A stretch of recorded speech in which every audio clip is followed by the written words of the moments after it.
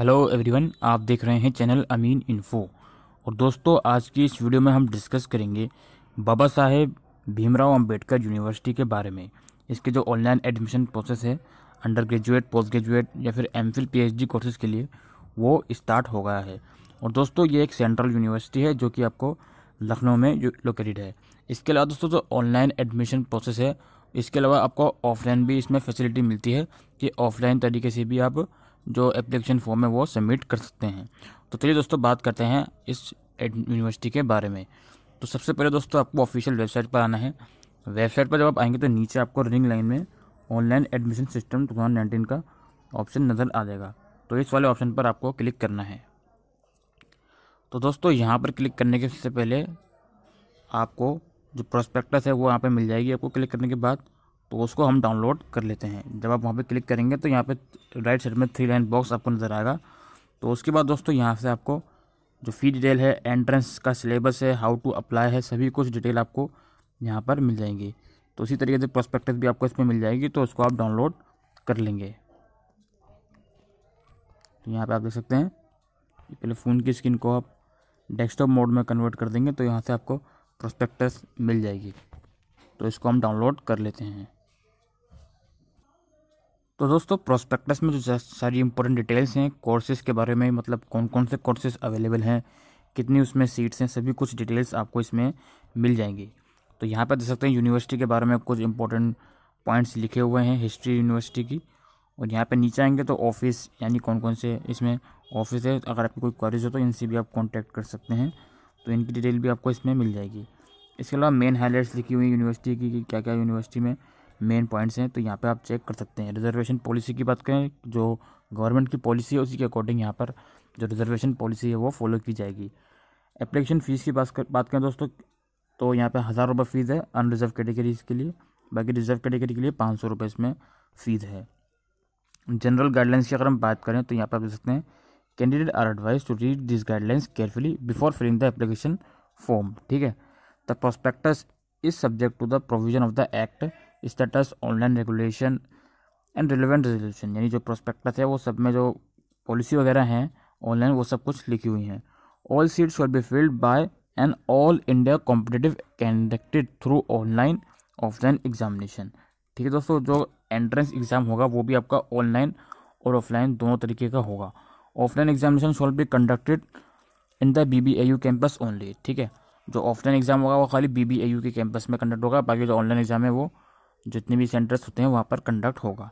Application fees आपको पढ़ ली है अपने ऊपर university of the right to make any changes in the provision यानी जो प्रोस्पेक्टस है, उसमें कोई चेंजेस आते हैं तो उसके लिए आपको वेबसाइट पर विज़िट करते रहना है। Student qualifying for admission must pay the course fee within the prescribe date यानी जो भी एडमिशन के लिए क्वालिफाई कर जाएगा तो उसको जो एडमिशन फ़ीस होगी, वो भी प्रिस्क्राइब डेट से पहले पहले देनी होगी। Candidate seeking admission to various courses in B B A U can apply online by accessing visiting the university website.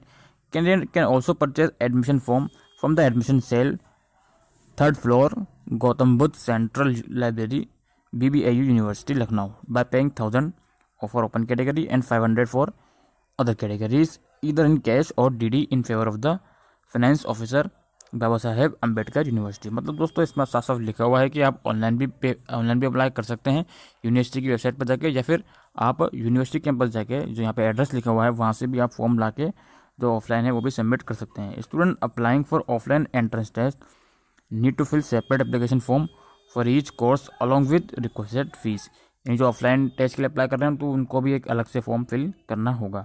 Application form can be purchase from the counter admission cell from tenth दस मार्च यानी दस मार्च दो हज़ार उन्नीस से आपको जो एप्लीकेशन फॉर्म है वो मिलने स्टार्ट हो जाएँगे। Filled in offline application form can be submitted at the counter admission cell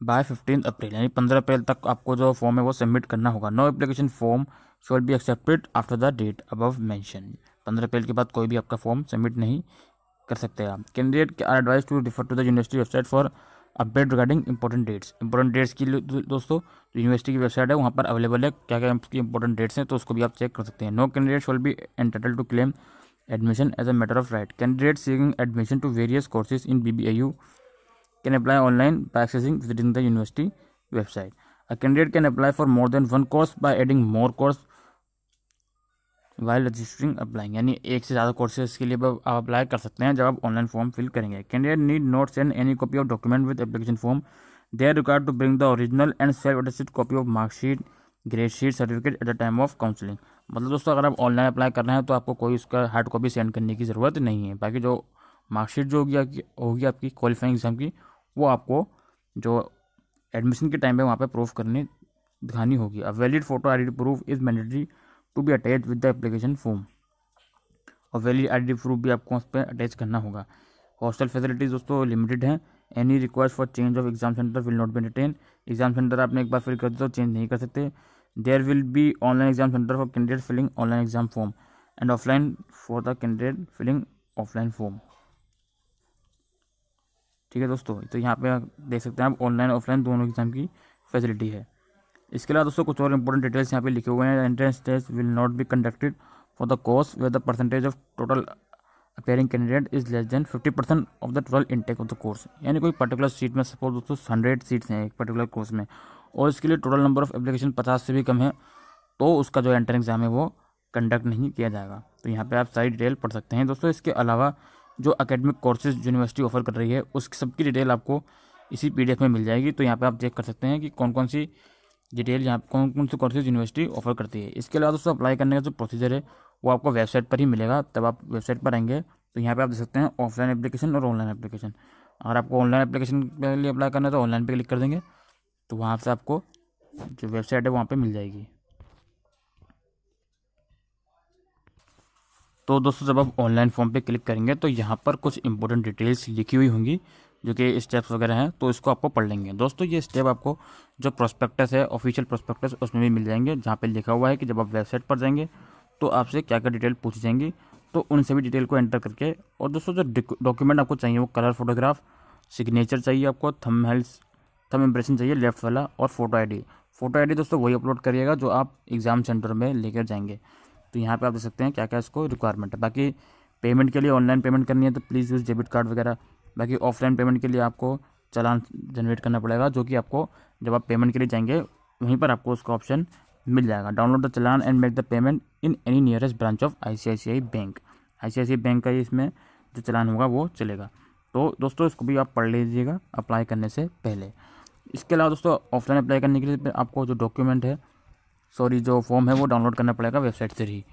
तो यहाँ पर आप देख सकते हैं, ऑनलाइन के बराबर में ही आपको ऑफलाइन का भी ऑप्शन मिल जाएगा।